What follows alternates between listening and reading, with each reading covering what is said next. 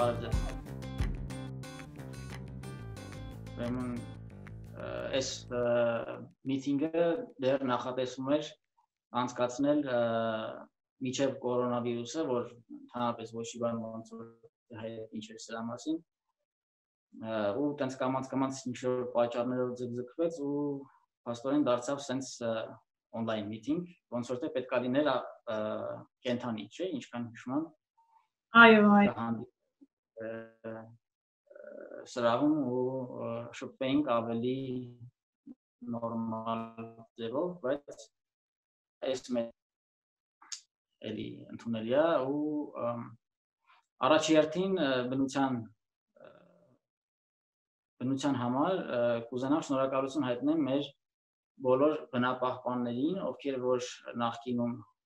սկսել են ինչ-որ շարժումներ ու հիմա դեռ շարունակում են որտեվ առանց իրանց ջանքերի միգուցե վաղը մեր մյուս սերունդները ճունենան այն բնությունը, որի մասին որ կարելի կլինի խոսալ, մտածել կամ ինչ որ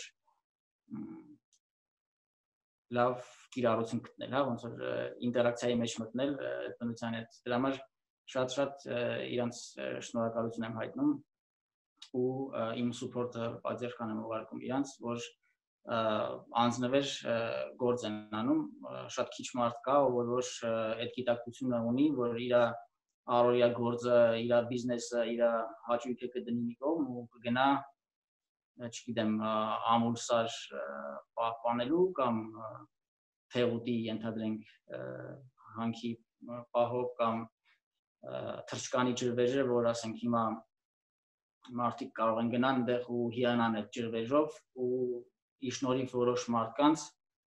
2011 թվականից չեմ սխալվում, այդ դա ոնց որ դարձավ հնարավոր, այսինքն միգուցե եթե դա չլներ, այդ ջրվեժը լինելու էր խողովակների մեջ ու աշխատացնելու էր ինչ որ հեկ, որը որ արդեն լրիվ ուրիշ պատմություն է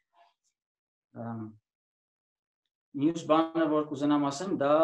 մարդու ներքին էկոլոգիան է ու ներքին բնությունը, որովհետև առանց ճանաչելու, հասկանալու մարդու ներաշխարհը, ներքին բնությունը, շատ դժվար է գնահատել արտաքին բնությունը։ Ու հիմնականում այն մարդիկ, որոնք որ չեն հարգում իրանց ներքին ներքին էկոսիստեմը, իրանք իրանք շատ դժվար է հասկացնել, թե ինչքան կարևոր է արտաքին էկոսիստեմը։ Դրա համար իմ կոնկրետ բնության հետ սեր տաճելու բնությունը ճանաչելը սկսել է նրանից, որ ես ավելի դարձել եմ դիտարկող, այսինքն սկսել եմ իմ միտքը դիտարկել որոշ մեդիտացիաների արդյունքում կամանց-կամանց մոտեցել եմ դեպի բնությունը, դեպի, այսինքն դա հատուկ ես չեմ արել։ Ես մի բանը ոնց որ սկսել եմ շտկել իմ մոտ, իմ միտքը սկսել եմ շտկել կամանց-կամանց դիտարկել ինչ որ process-ներ, որոնք իմ ներսում տեղի ունենում, ու դա ինձ մեխանիկորեն բերել է դեպի բնություն ու միշտ էլ տենց է, ասենք, երբ որ ինչ որ ցանկացած առումով դու ինչ որ մի բան մի տեղից սկսում ես շտկել, դու անգամ չգիտես թե հաջորդ քայլը քեզ ինչ է բերելու բնությունը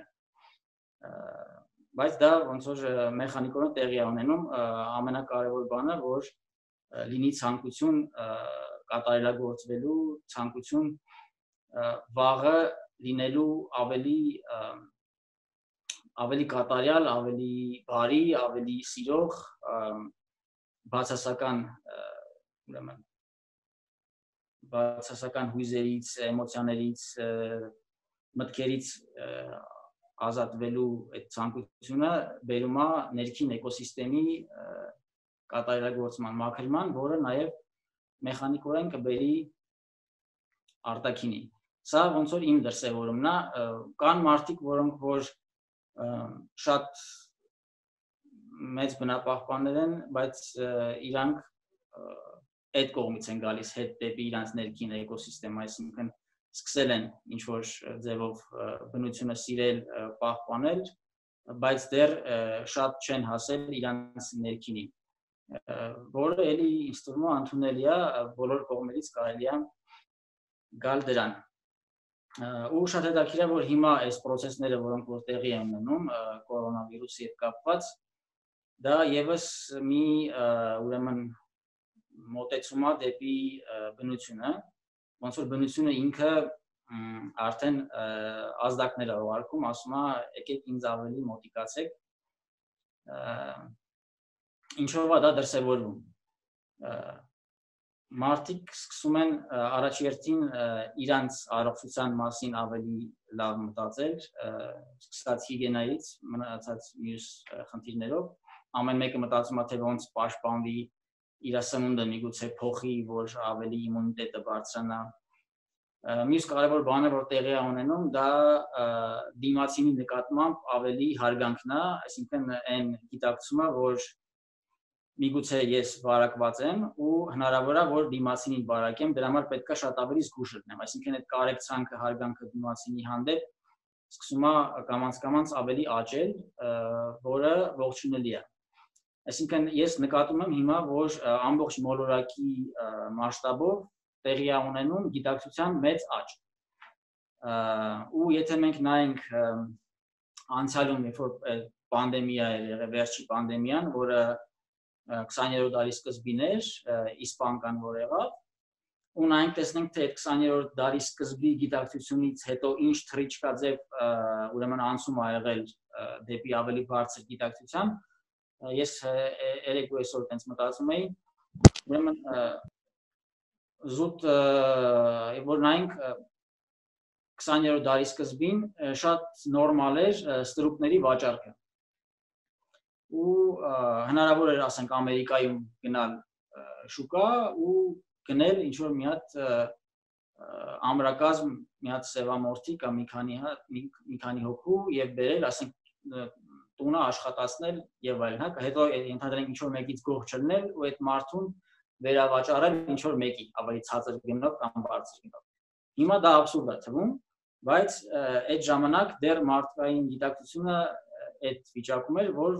նորմալ էր, կարելի էր իրանց առնել ու դա այնքան խորը վերք ու հետ կա թողել սևամորտների մոտ, որ միջև հիմա այդ նեգր կոչված բառը, որը իր մեջ ոչ մի վատ բան չի պարունակում, ընդհանրապես մաշկի գույնն է, իրանց համար շատ հուզական է ու իրանց պետքա կոչել աֆրոամերիկացի, այլ ոչ թե տենց։ Ասածս նաև որ այս համեմատության մեջ տեսնենք թե ինչ հսկայական փոփոխություն ա եղել, որը մենք հիմա միգուցե չենք գնահատում, բայց այդ փոփոխությունը կա ու ըստ դրա հասկանանք թե հիմա այս մեր պանդեմիայից հետո ինչպիսի թռիչքաձև ինչ փոփոխություն անելու, որը միգուցե հիմա ֆանտաստիկ հնչի, բայց դա հերու չի արդեն։ Ու նաև մյուս բանը, որ կուզեմ ասեմ, այս կորոնավիրուսի պատճառով ես ինքս նկատում եմ, թե ինչքան մարդիկ տունը մեկուսանալով ու մի քիչ ժամանակ գտնելով իրանք իրանց հետ շփվեն ինչ որ process-ների մեջով անցնեն ու լիքը բաներ կա որ ուզեցել են անեն ինքնակրթվելու հարցում, չգիտեմ, մեկը փորձել է բուսակեր դառնա, բայց ժամանակ չի ունես է դրան ավելի շատ ժամանակ հատկացնի կամ մի ուրիշ մեդիտացիաներ անեի կամ ինչ որ մի ուրիշ բան։ Հիմա դրա հնարավորությունը տրվում է ու մարդիկ շատ մեծ արագությամբ զարգանում են դրա համար կուզենամ ասեմ որ չտխրեք այս process-ները շատ դրական են չնայած որ շատ մարդիկ տանջվում են խնդիրներ առաջանում առողջական եւ այլն բայց եթե վերցնենք անհատի մոտեցմամբ նաև ցանկացած անհատ երբ որ հիվանդանում է ինքը մի հատ մտորում է, խորհում է, ուզում է հասկանա թե ինչ ա եղել, որ այդ հիվանդությունը իր մոտ առաջացել է։ Ու շատ մարդիկ խոսքը օրինակ նույնիսկ թմրա միջոցներից կախում, ասենք Էրիկ Կլեպտոնը, որը շատ ուժեղ հերոինի addiction ուներ, բայց ինքը կարողացավ ուժ գտնել իր մեջ, հաղթարել ու շատ լավ երգեր գրել եւ այլն ոնց մարդկանց ուրախացնել այսինքն այս process-ները որ տեղի են ունենում բաները ոնց որ նույնիսկ վերում են շատ ավելի լավ են դրա համար նամանավանդ եթե մենք կարողանանք այս տեսանկյունից նայենք այդ process-ները ավելի կարողանանք որովհետեւ ամեն ինչ գալիս է մեր մտքից եթե մենք մեզ տրված հնարավորությունը դիտարկենք որպես վատ բան, ապա դա տենց էլ սկսի աշխատել մեր համար։ Իսկ եթե մենք մեր միտքը ուղում ենք դեպի դրականը ու փորձում ենք ստեղծված սիտուացիայից քաղել ամենադրականը, հենց տենց է կլինի։ Իմ մոտ բնության հետ մոտեցումը ոնց որ ասացի եղավ մեդիտացիաներ անելուց, այսինքն երբ որ ես սկսեցի ինքնադիտարկմամբ զբաղվել, ես մեխանիկորեն մոտիկացա բնությանը։ Ու ինչով է դա օրինաչափ։ Քանի որ մարդը ամեն ինչին տալիս է ինչ որ գնահատական կամ արժեք ըստ իր անկալման ու իր փորձի։ Այսինքն եթե մարդը չունի այն ընկալումը ու փորձը, որ բնությունը դա լավ բան է, ինքը բնականաբար կուզենա շատ ժամանակ ծախսի, իր ազատ ժամանակ, ասենք գնա փաբերում ծախսի, ինչ որ փարտիների գնա, այլ ոչ թե բարձրանասալ կամ ինչ որ ուրիշ տեղ գնա։ Դրա համար երբ որ այդ ընկալումը մարդը սկսում է ինքը իրան դիտարկել ու հասկանալ, որ ենթադրենք ես գնացի փաբ խմեցի ու ես վաղը առավոտյան ինձ ոնց եմ զգում ու դա շարունակական այդ դիտարկումները դա բերելու է ինքնստինքյան ոչ մի տենց առանձնահատուկ բան պետք չի անել ինքնստինքյան այդ դիտարկումները կբերեն նրան որ տվյալ մարդը կզգա որ ինքը ուզում է գնա ինչ որ մի նոր միջավայր բաց երկնքի տակ այլ ոչ թե ինչ որ փակ այդ բետոնի 4 պատի մեջ լինի ու մյուս դիտարկումը որ կուզենամ անեմ դա նաև որ բնությունն էլ ինքը ունի իր տարբերությունները, այսինքն բոլոր միջավայրերում չի որ նույն բնությունը նույն էներգետիկան ունի, տարբեր տեղեր, տարբեր էներգետիկաներ է։ Նամանավանդ բարձրավանդակներում շատ ավելի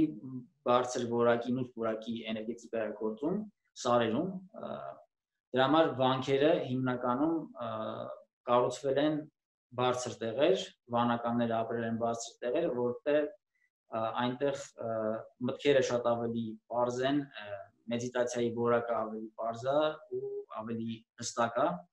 Ու այն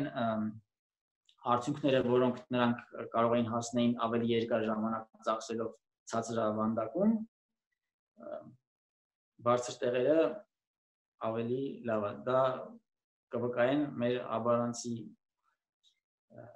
աբարանցիները, որոնք շատ հումորասեր ու պոզիտիվ մարդիկ են, ես իմ դիտարկումն եմ ասում, ու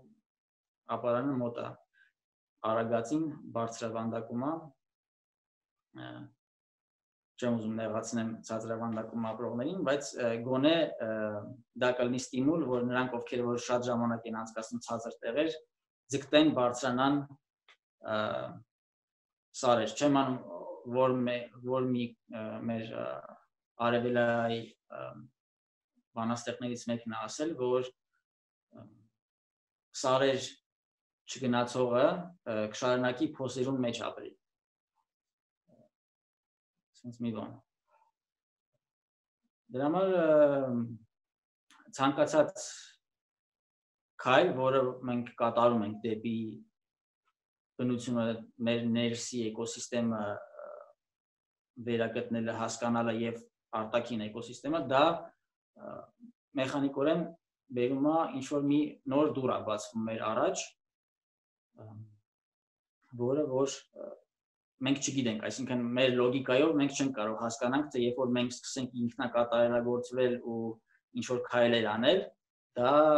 ինչա մեզ բերել։ Միշտ այդ երկրորդ level-ը միշտ մութ է։ Ու դրանում էլ հենց այդ քաղցրությունն է կայանում, որ միշտ մի ինչ որ նոր որակներ ենք սկսում ձեռք բերել, որոնք որ միջև այդ չենք ունեցել ու երբ որ հետ ես նայում հետադարձ, ասենք ես ինքս նայում եմ իմ մի տարվա կամ 10 տարի առաջվա Արտուրին, տեսնում շատ մեծ փոփոխություններ, որոնք որ միգուցե չլնեին, եթե իմ մոտ չլներ այդ ջանքը, այդ ցանկությունը ինչ որ բան փոխել։ Որովհետև երբ որ մարդ ամեն օր ցիկլի մեջ մտած գնում է ամեն օր գործի, օֆիս գալիս է տուն, մեկ-մեկ գնում է, չգիտեմ, Գառնի Գերարդ կամ գնում է Ծաղկաձոր ու հիմնականում այդ Ծաղկաձորի պանսիոնատից դուրս չի գալիս, դա չի բերում ոչ մի որակական փոփոխություն մարդու կյանքում չի բերում։ Տենց մարդը կարող է իր կարիերայի մեջ, իր գործի մեջ որոշակի լավ արդյունքների հասնի, բայց դա ընդհանրապես թող չնեղացնեմ ոչ մեկին, բայց դա ոնց որ մարդը դառնում է ավելի հմուտ ստրուկ իր օֆիսային համակարգի մեջ, իր տնօրենի համար դառնում ավելի սիրելի մարդ, որովհետև որոշակի գործողություններ ավելի հմուտ ձևով է կատարում, բայց իր ներսում ազատություն չի ստանում, իր ներսում երջանկությունը չի ավելանում։ Ու դրա համար շատ ցավալի է, որ ասենք մարդ կարող է այտենց ցիկլի մեջ ապրի, ենթադրենք իր մտքերը, բոլոր մտքերը զբաղված լինեն, որ ինքը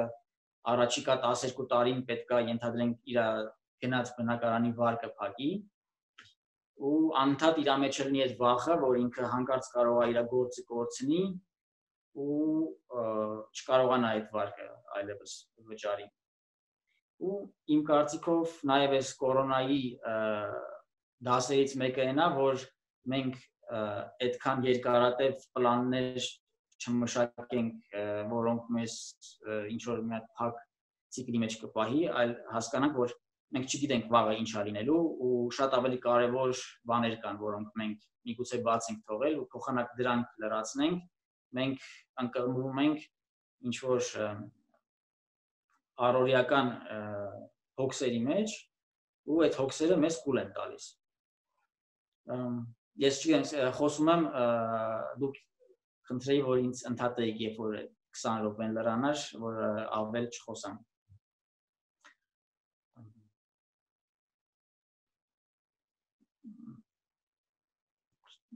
չգիտեմ ինչ իրականում ոնց որ կուզենայի նաև ինչ որ ինտերակցիաներ որ հասկանայի թե ինչ թեմաներ կան որոնք որ մարդկանց ավելի շատ են հուզում որ դեպի այդ ուղությամբ խոսքս ավելի շարադրեի շարունակեի բայց հիմնական ոնց որ ինչ որ ուզում եի ասեի ինքը այս թեման շատ երկար թեմա է ու շատ խորը թեմա է ու այս 20 րոպեվա ընթացքում բարձրավոր հնարավոր չի լինի ամբողջ ամբողջությամբ իրան արտակել, բայց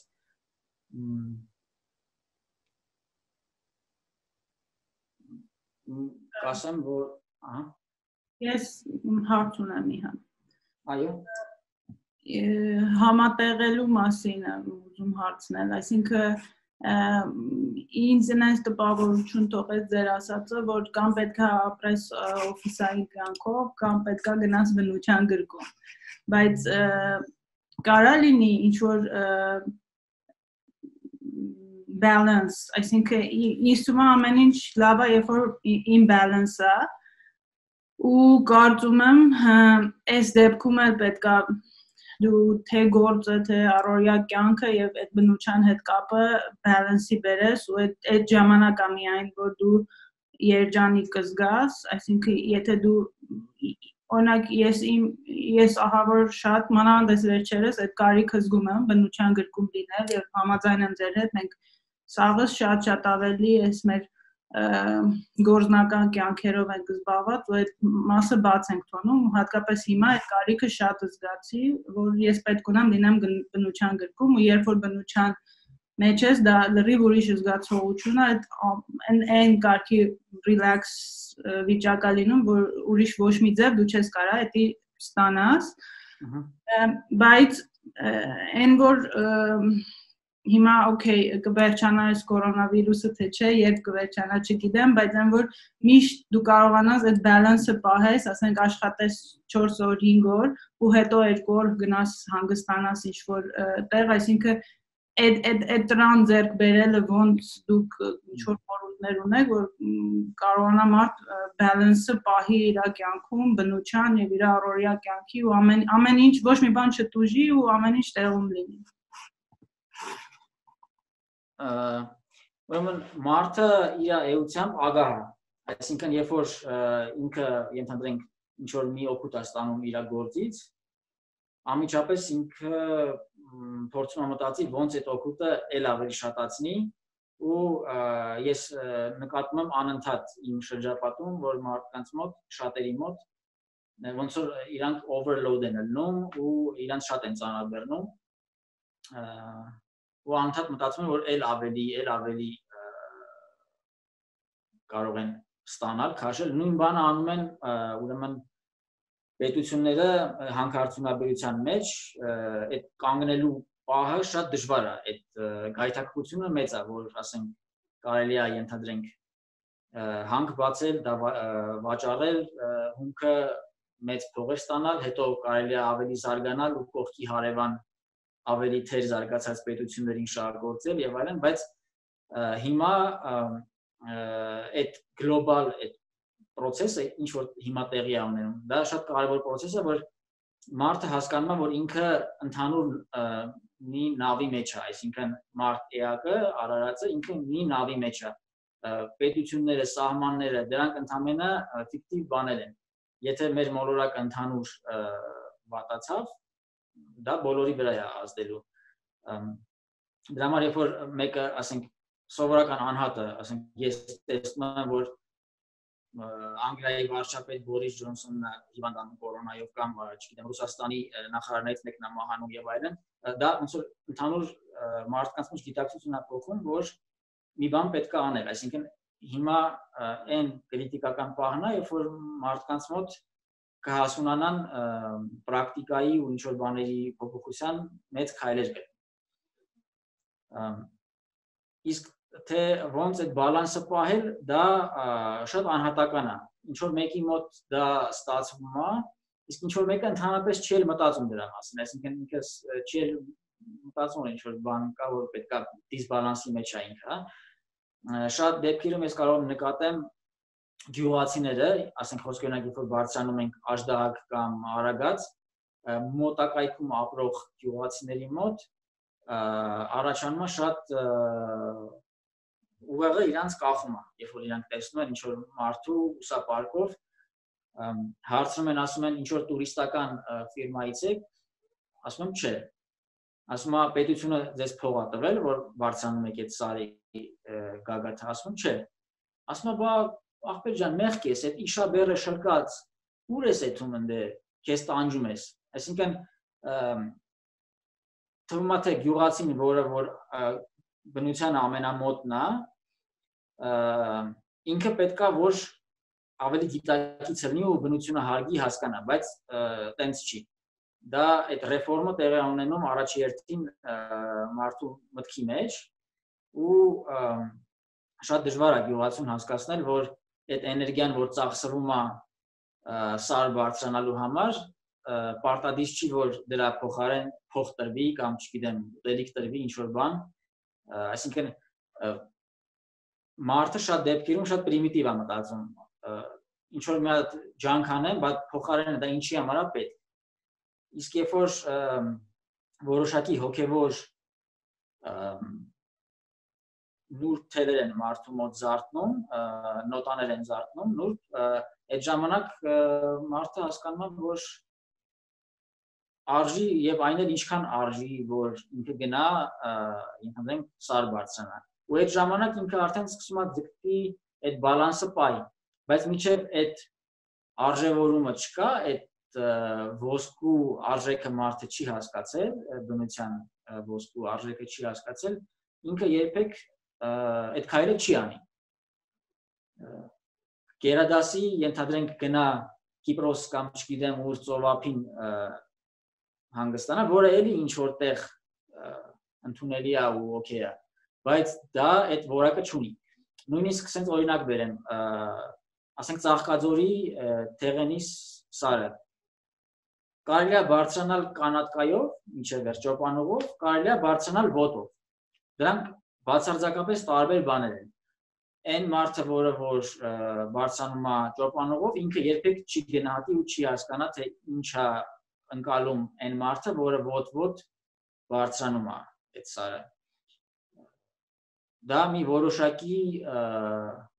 ներքին վիճակ է մարդը ձերկ բերում,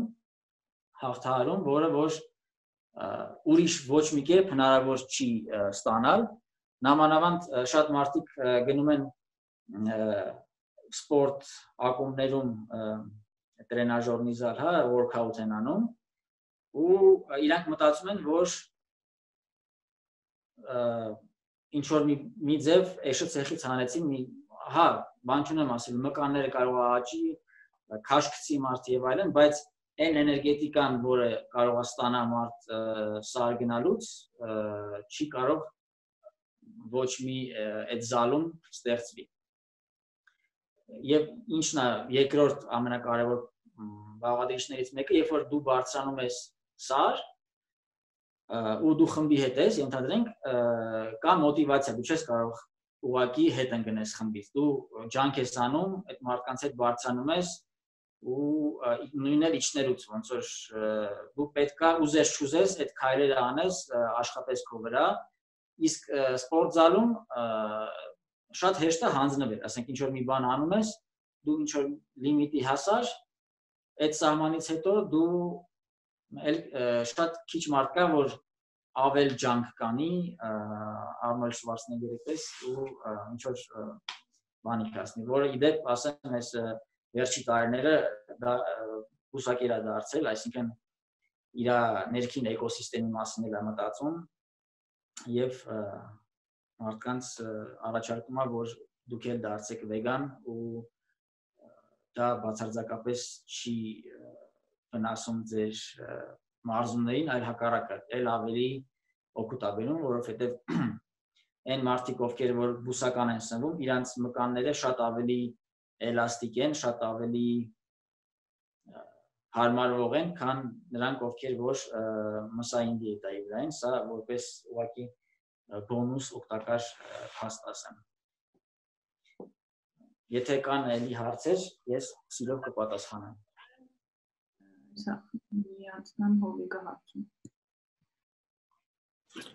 Ճիշտ ասած, նախ կարող ջանա բարև բոլորին։ Ճիշտ ասած, ես ուզում եմ ոչ թե նախ հարցս ձևակերպեմ, նախ ուզում եմ մի քիչ խոսամ այն փաստի մասին, որ դուք ասեցիք նախ դուք ձեր պատմության մեջ ասեցիք, որ երբ որ դուք գնում եք սար, գյուղացիները գալիս են, ձեզ ոնց որ իրանք զարմացած են, որ դուք այդքան նեղություն եք քաշում, սար բարձանում, մի քիչ ես իմ համար դա իմ մանկությունը, որտեղ ես անցկացրել եմ իմ պապիկիս գյուղում, որը անապատային շրջան էր, բայց շատ լավ բնություն ուներ Սիրիայի հյուսիսում, թե ցանկի ոլորտում էր ու սարը շրջագայքում սարեր կար, որ գնում էինք այնտեղ գյուղացիների հետ, այնտեղ մի քիչ ձևավորված է գյուղացու եւ քաղաքացու հարյուրավոր տարիներ է, որ արդեն գյուղացի եւ քաղաքացու այդ կոնտրաստը արդեն ձևավորված է, իրանց համար ոնց որ քաղաքացու տեղը քաղաքն է, գյուղացու դեղը գյուղում է, որը ես այդքան էլ ճիշտ ասած համաձայն չեմ, որովհետև քաղաքացին էլ բնության մի մաս է ու բնությունը բոլորի համար է, բայց այստեղ իմ մոտ sense լուրջ ոնց որ մտահոգություն է, ավելի շուտ ոչ թե մտահոգություն է, իրականություն է, որը դա անլուծելի խնդիր է դարել նախ ուզում եմ մի հատ էլ մեջբերում անեմ նոր բուն հարցից ձևակերպեմ։ Մենք ասում ենք, որ քաղաքացին այդքան չպիտի խրվի գործի մեջ, չպիտի այդքան տանի իրան գործը, բայց մենք մոռանում ենք, որ հենց այս ռոբեին մենք բնությունը մի որոշ չափով փրկում ենք ի շնորհիվ այն մարդկանց, որը ստեղծել են հենց այս ծրագիրը, որ մենք հիմա խոսում ենք իրանով Zoom ծրագիրը,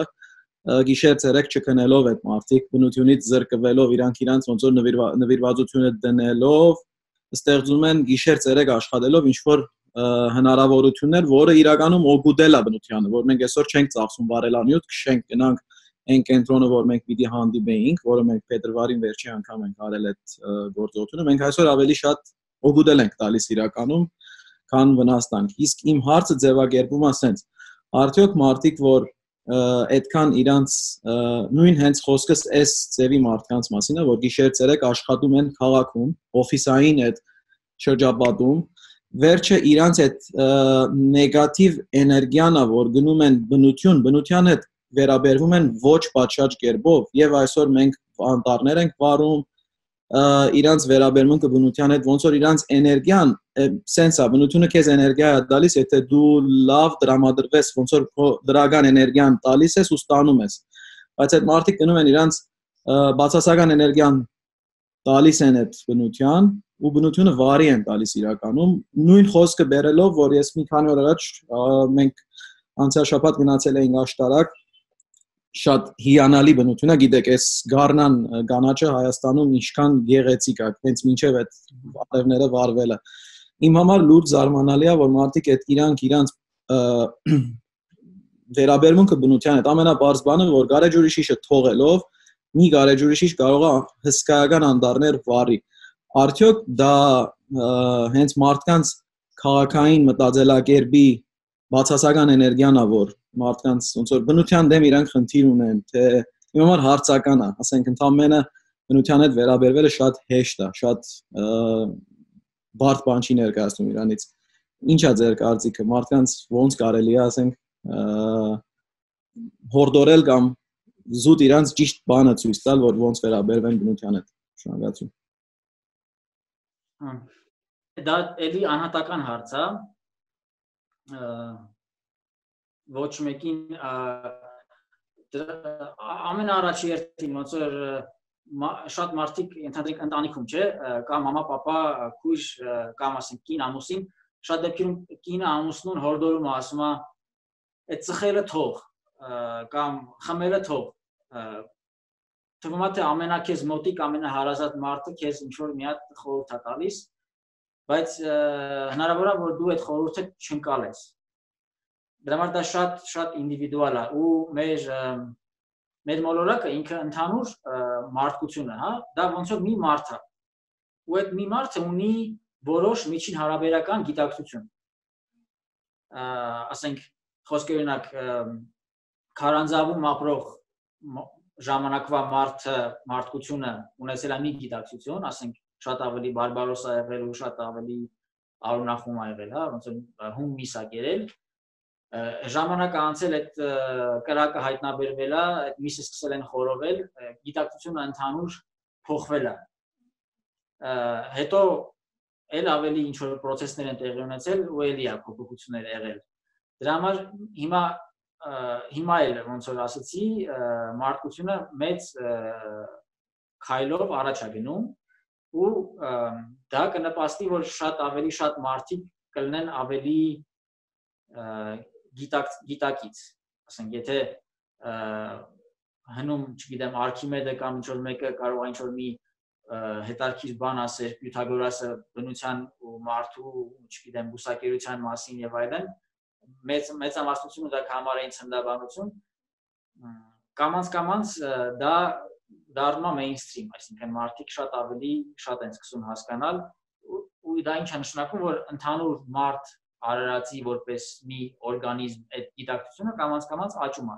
Թե հիմա այդ մարդ օրգանիզմի մեջ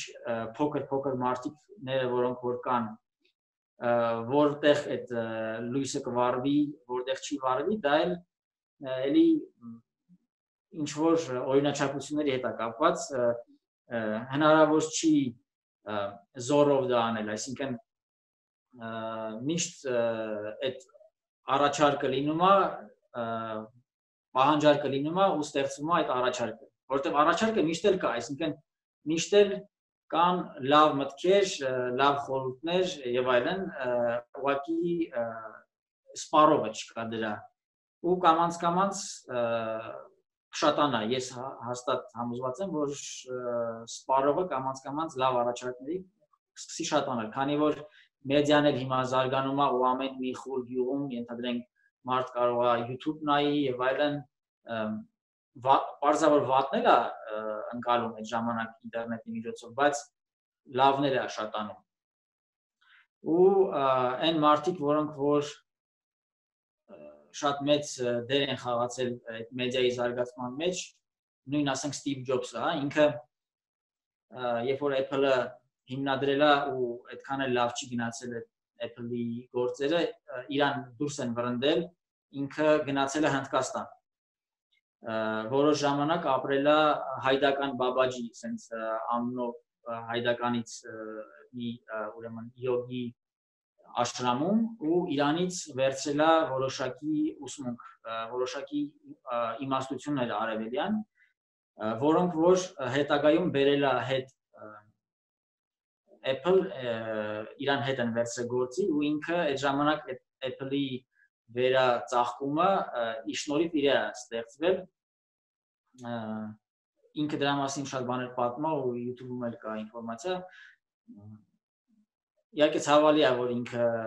քաղցկեղից մահացավ շատ ավելի շատ բաներ կարող էր անել բայց ուզում ասեմ միշտ այս երկիր մոլորակի այդ մարդու պրոգրեսը տեղի ունենում արևելքի եւ արևմուտքի սիմբիոզի միջոցով այսինքն Steve Jobs-ը որպես արևմուտքի ներկայացուցիչ գնաց արևելք վերցրեց ընդեղից այն իմաստությունները ու խորը վիճակները, խոկումները վերեց նորից հետ արևմուտք ու կարողացավ հսկայական փոփոխություն մտցնել մոլորակի մասշտաբով։ Հետագայում էլ նույն սկզբունքով էլի շարունակվելու է այդ ին յան որ ասում են դրական բացական տղամարդկային ու կանանցի էներգիաները երևի թե կարելի ասել արևելքը ավելի կանացի է, արևմուտքը ավելի բրուտալ է, ավելի տղամարդկային է, այդ երկուսի համադրությունը անընդհատ բերելու է նորանոր պրոգրեսի ծիլերի։ Երևի թե այսքանը, չգիտեմ, կարողացա պատասխանեմ։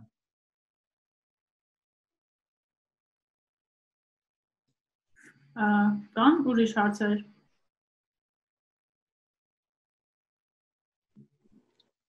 Ես ունեմ մի հատ հարց։ Արտուր, օրինակ, դու ասացիր, որ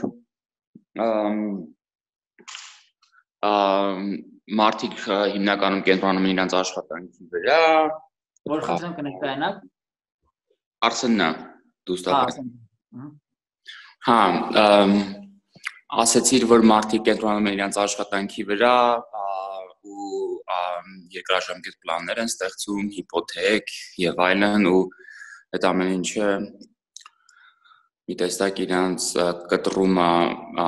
գիտակցությունից ավելի շատ լինել բնության մեջ իրանց ներքին էկոլոգիայի վրա ժամանակ ծախսել եւ այլն եւ այլն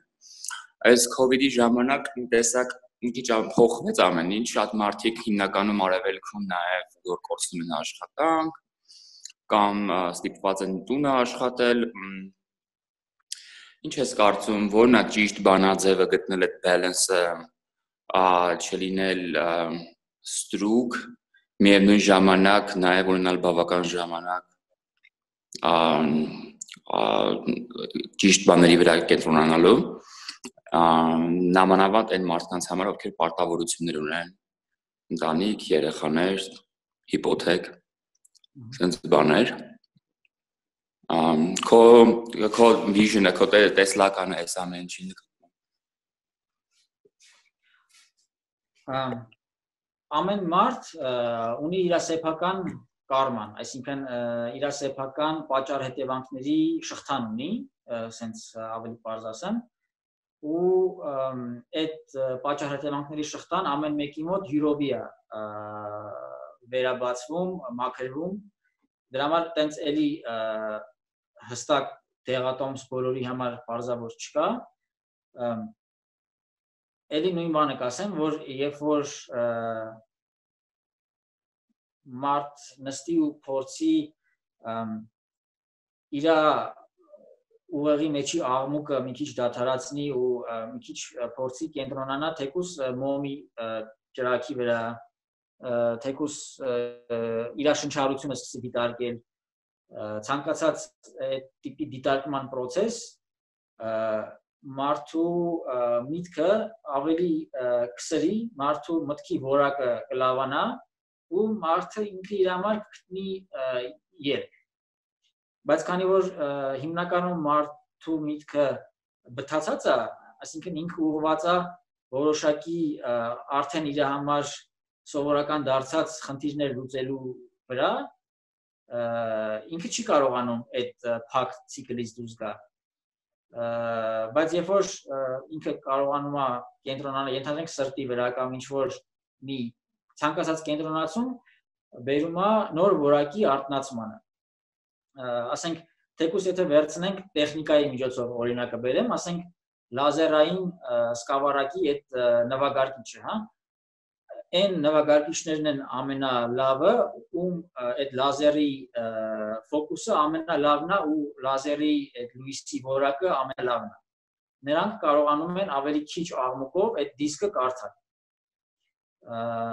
Նույն բանը կարող եմ ասեմ, քանի որ ես տեխնիկական կրթություն ունեմ, ինձ հեշտ է տենց օրինակներ վերել։ Իմ մասնագիտությունը անտենաներն է ու երբ որ կան աստղադիտակ անտենաներ, որոնք որ հերավոր աստղերից որսում են եկած ռադիո ալիքները ու ըստ այդ ռադիո ալիքների իրանք փորձում են գիտնականները հետա վերցանել ու հասկանալ ենթադրենք այդ աստղը ինչ բաղադրություն ունի, ինչ գազից է բաղկացած, ինչ ջերմաստիճան ունի, չափսեր եւ այլն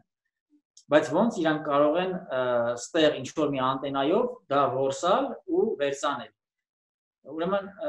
ինչա բարձվում, որ անտենան, որը որ ասենք մետաղից է բաղկացած, այդ մետաղի մեջի մոլեկուլները, որոնք որ թվում է թե պինդ մարմին է այդ մետաղը,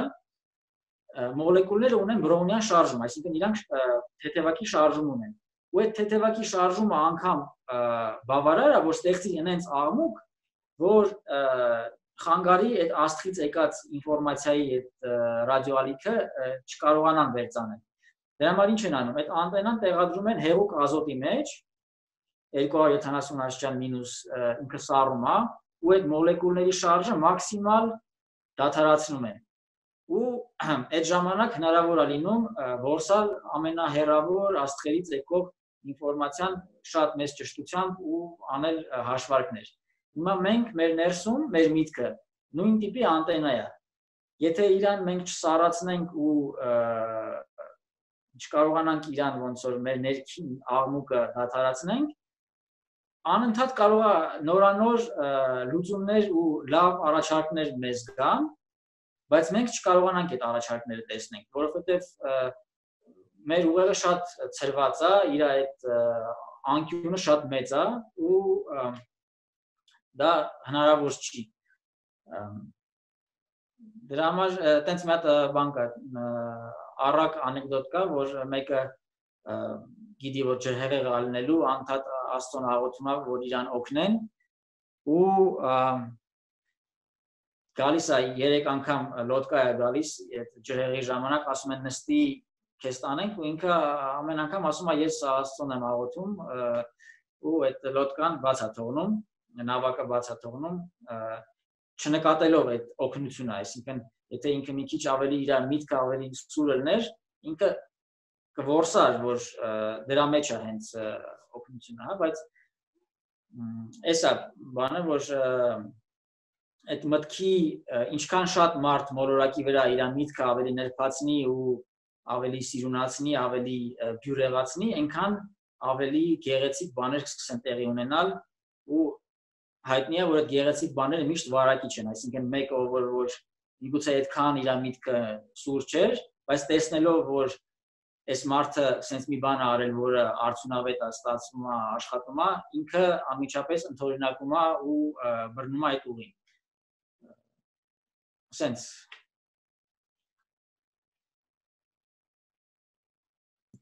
Եթե կարելի հարցեր, ես փորձեմ պատասխանել։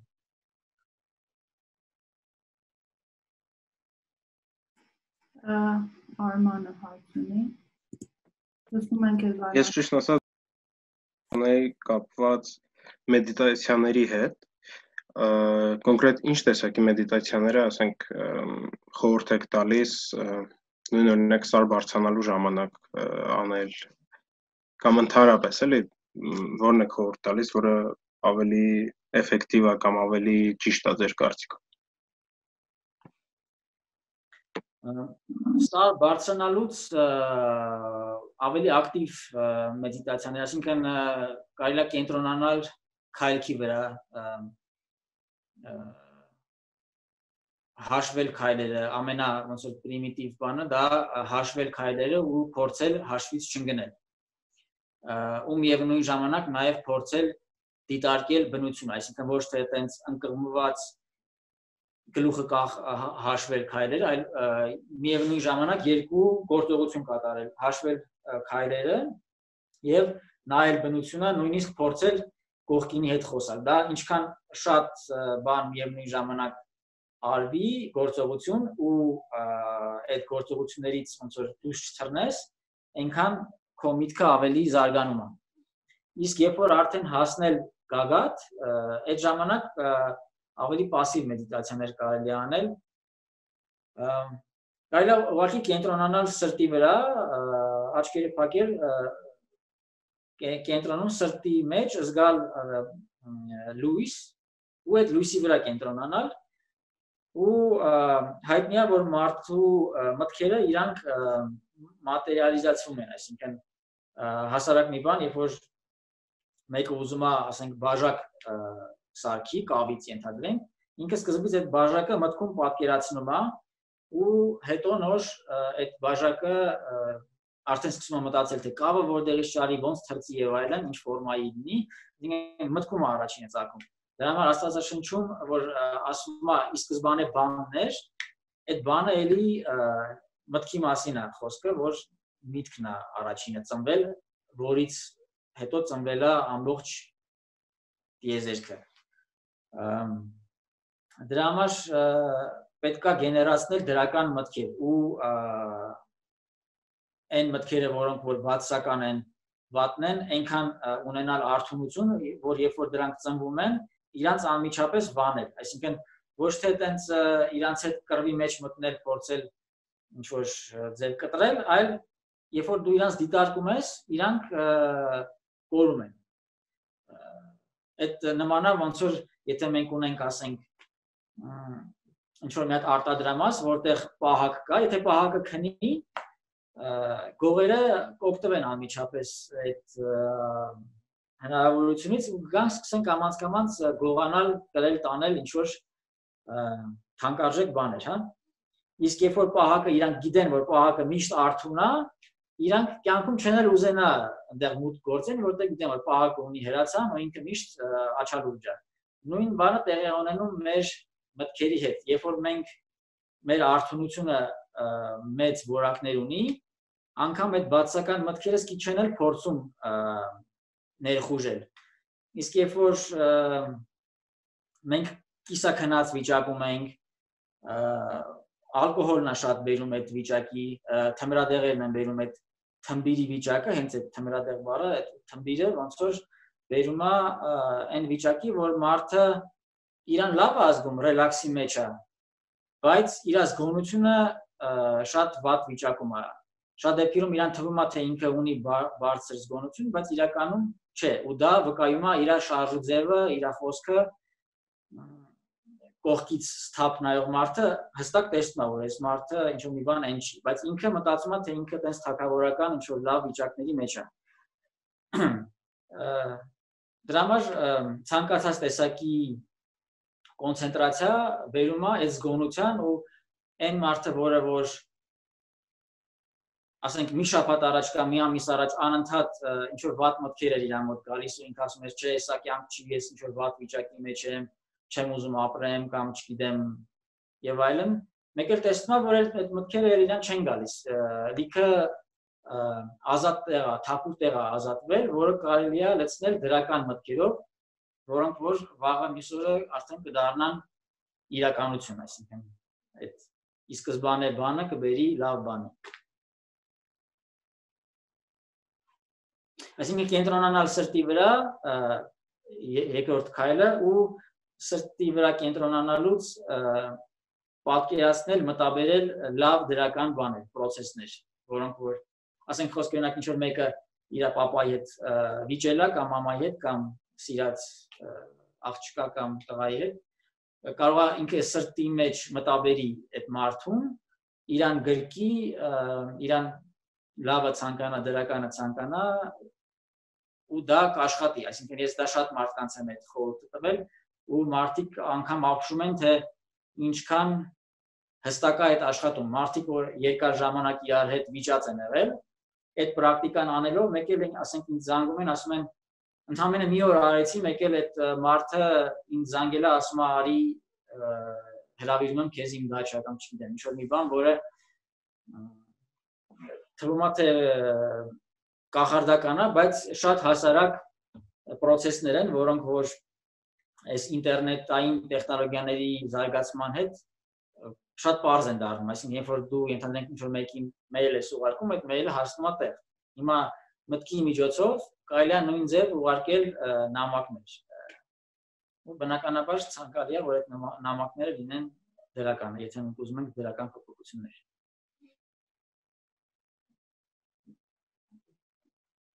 Այսքանը։ Եթե կան այլ հարցեր, շարունակեմ պատասխանել։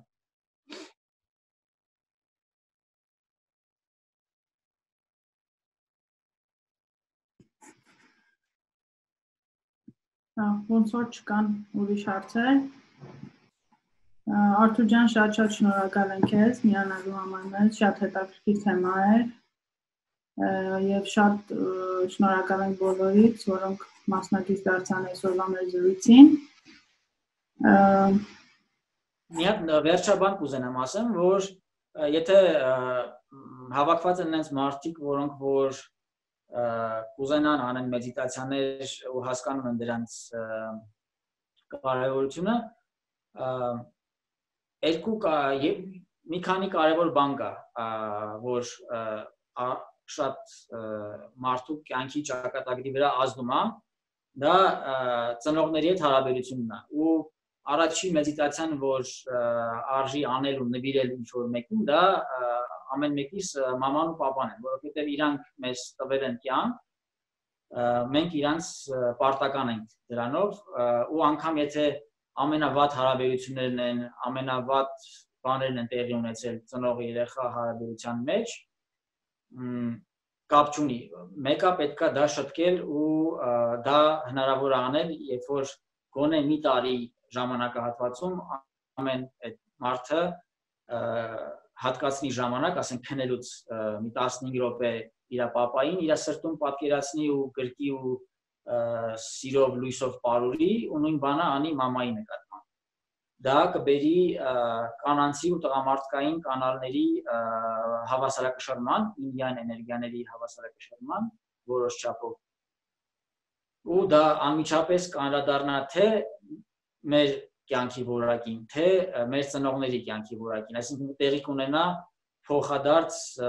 շտկում։ Ու ասենց մեծ օրինաչափություն ասեմ, որ այն մարդիկ, որոնք որ ունեն խնդիր իրանց papai հետ, շատ դեպքերում բիզնեսի եւ արտաքին կապերի հետ խնդիր են ունենում, որովհետեւ papan դա հայրական էներգիայի սիմվոլն է, ասենք ինչ որ դժվարություններ հաղթահարելու տենց challenge-ներ անելու ու միշտ կաղում է այն մարդը որ որ իր ներսում իր papayin չի հարգում միշտ այդ խնդրի մեջ եթե նայեք այդ օրինաչափությունը միշտ կա կաղում է այդ հարցերում մամայի մոտ անձնական կյանքն է եւ հոգեվոր կյանք, այսինքն այդ նուրբ ավելի էլեմենտները հոգեվոր սնունդը մարսելու եւ նաեւ ասենք կնոջ հետ սիրած աղջկա տղայի հետ հարաբերությունը էլի սկսում է ուժեր, երբ որ մամայական այդ էներգիան կաղում է։ Դրա համար այդ երկուսի համար մեդիտացիան շատ-շատ կարևոր է, որ կյանքում լինի բալանս։ Եթե դա չի արվում, այս այնքան կարևոր բան է, որ միգուցե արժեր ամենասկզբում սա ասել, բայց կամանց-կամանց եկանք հասանք այս թեմային եւ ինչի՞ չէ, նաեւ ընդհանուր մոլորակի համար էլի նույն տիպի սրտու մեդիտացիա անելը, դրական վիբրացիաները ուղարկելը շատ կարևոր է։ Այսքանը։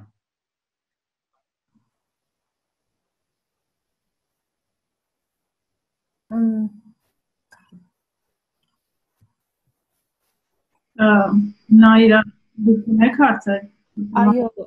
ես կուզեի այ հենց ինյան էներգիայի մասին իմանալ, հա բարև ձեզ համեր։ Այսինքն ո՞նց կարող ենք մենք դա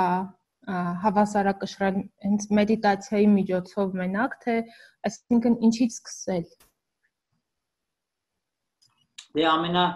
քանի որ ծնված օրվանից փոքր ժամանակվանից մեր համար այդ երկու էներգիաների խորհրդանիշը մաման ու papan են ու անգամ եթե երեխան մեծացել է մանկատանը ու երբեք չի տեսել իր ծնողներին մեկը ինքը իր հոգու խորքում ունի այդ գաղափարը որ ինքը ունի մամա ու papan ու անգամ այդ դեպքում կարելի է ոնց որ վերացական պատկերացնել այդ մարդկանց ու իրանց ուղել այդ սերը լույսը Նաև երբ որ ծնողները մահացած են, էլի կապ չունի դա, մեկը այդ ամեն ինչը աշխատում է, այդ էներգիաները կան ու իրանք աշխատում են։ Կան ուրիշ մեդիտացիոն տեխնիկաներ, որոնք որ այդ ինյան էներգիաները բալանսավորում են, բայց ամենամասսայական հանրամատչելին ու ամենակարևորը սա է, մամայի ու պապայի համար որովհետև կարելի է ընկնել ինչ-որ ուրիշ մեդիտացիոն տեխնիկաների հետևից դրանց մեջ դառնալ շատ հմուտ վարպետ, բայց եթե քո սրտում դեռ չունես թեթևություն քո ծնողների նկատմամբ, այսինքն երբ որ դու պատկերացնում ես քո մամային քո սրտում, զգում ես որոշակի ծանրություն, որովհետև ասենք վիճել ես կամ շուտվանից ես վիճե այդ բանը process-ը չի անցել կամ կան խորը վիրավորանքներ ինչ որ ասենք մանկությունից եկող, հա սրանք պետք է անպայման շտկվի, որովհետև դա շատ մեծ ազդեցություն ունենում մեր ներքին էկոլոգիայի վրա, որը նաև բերում է արտաքին էկոլոգիայի խնդիրների, այսինքն այդ ամբողջը շահկապված է։ ու այս հասարակ process-ն է, որ մամայի ու papayi համար նաև նույն ձևով կարելի ասենք ենթադրենք ինչ որ մեկը իր հորեղբոր հետ խնդիր ունի, հա, կապ չունի։ Այն մարդիկ, որոնք որ մեր սրտում ինչ որ որոշակի տեղ են զբաղացնում բացական իմաստով, թե դրական իմաստով, նշանակում է որ այդ մարդկանց հետ կա որոշակի խնդիր կամ իրանք կարևոր են մեր կյանքում ու հենց այդ մարդկանց համար պետք է անել այդ մեդիտացիան գոնե մի 15 րոպե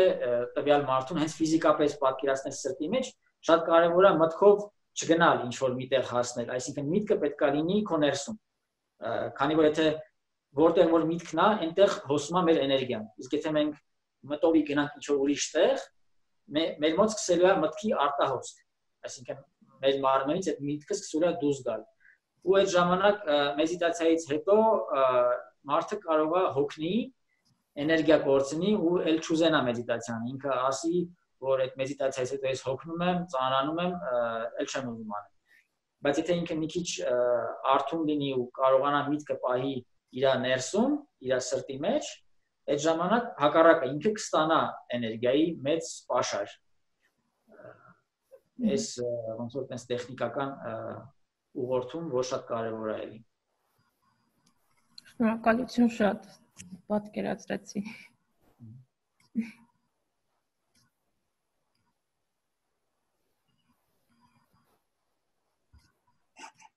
Եթե չկան հարցեր եւ Արթուրը ճունի ավելացնելու ինչ-որ բան։ Կան հարցեր։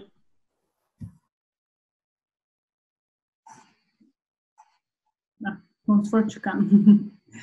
Շատ մերսի Արթուր ջան, շատ-շատ հաճելի էր։ Տեսություն բոլորին։ Մերսի քանի որ իրար ձեր մեկնելու կպնելու մոմենտը մի քիչ վտանգավոր է դարձել այս հինդուիստական նամաստեի շարժումը ակտուալ է դարել ինչու՞ չէ նաև քրիստոնեության մեջ էլ չէ աղոթքի ժամանակ այս դիքն է ընդունում դեզ շատ շնորհակալություն որ հյուրն արեցիք դեր մոտ